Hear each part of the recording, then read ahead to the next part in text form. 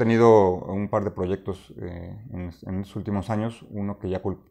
concluyó, el, hace, concluyó en el 2017,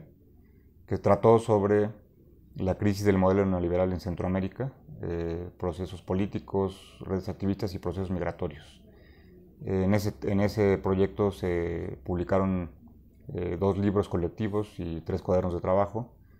que reflejaron, digamos, una labor de investigación entre especialistas de la, de la, región y de temáticas específicas y se le dio cierto peso, digamos, en, al, asunto de la migración, porque de ahí fue un libro y uno de los cuadernos eh, centroamericana, hacia, bueno, hacia el norte, ¿no? porque también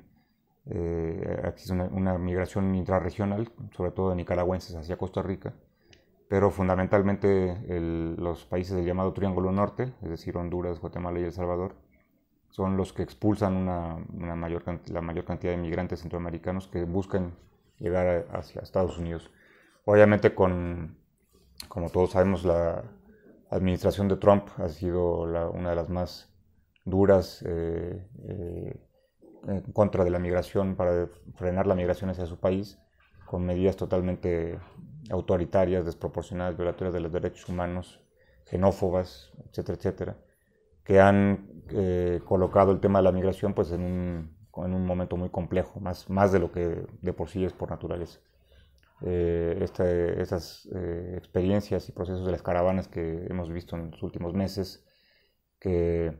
han llevado a, a, meter el tema de la migración de, más, de manera más importante en la discusión pública y en los medios de comunicación, refleja pues la realidad dramática de una región que después de una guerra como la que vivió el siglo pasado en las décadas de los 80 y parte de los 90 que arrojó medio millón de muertos en la región, y, y, como no se alcanzaron los objetivos políticos de las insurgencias que tuvieron en estos, en el caso de Salvador y Guatemala, en el caso de Nicaragua derrotada al sandinismo por la vía electoral, eh, sobre todo en Guatemala y El Salvador, pues las condiciones socioeconómicas quedaron peor de lo que estaban en su, momento, no se alcanzó ninguna transformación social de ninguna naturaleza, y por el contrario, una vez que acaban las guerras, se impone el modelo neoliberal en estos países y esto sin duda agudiza las condiciones de pobreza, de, de, desempleo, de marginación y de violencia. Entonces estamos hablando de países que no lograron cerrar las cicatrices de la, de la guerra, las heridas de la guerra, ni, ni, borrar las cicatrices, perdón. Y esto se refleja en condiciones eh, totalmente injustas para las mayorías de, de, estos países que obligan a muchos de ellos a buscar mejores oportunidades y, y, a, y a emigrar con todo este, lo, que este, este proceso significa, con el drama que significa la migración, sobre todo pensando en que pasar por México es en sí mismo ya un reto eh, eh, complejo, violento, inseguro y dramático. Por ejemplo, eh, hay, hay, ciertas tendencias que indican que de 8 de cada 10 mujeres migrantes son violadas en, en las rutas de la, de, la, migración hacia Estados Unidos y llegan al extremo de que muchas de ellas toman anticonceptivos para no quedar embarazadas porque saben que inevitablemente van a ser violadas. ¿no? Es un dato eh, de gran eh, dramatismo, digamos, de una realidad como tal, como la, como la mexicana. Y otros tantos también saben que pueden ser sujetos y secuestros, eh, secuestrados por el, por el crimen organizado en México, por el narcotráfico. Eh, son este, desaparecidos y utilizados como esclavos en plantaciones, ¿no? Es decir, es una migración que, que tiene eh, connotaciones muy violentas, por lo que significa el crimen, las acciones del crimen organizado en México, la inseguridad que vive nuestro país, los altos grados de violencia que vive nuestro país y que todos los días vemos desgraciadamente que eso no,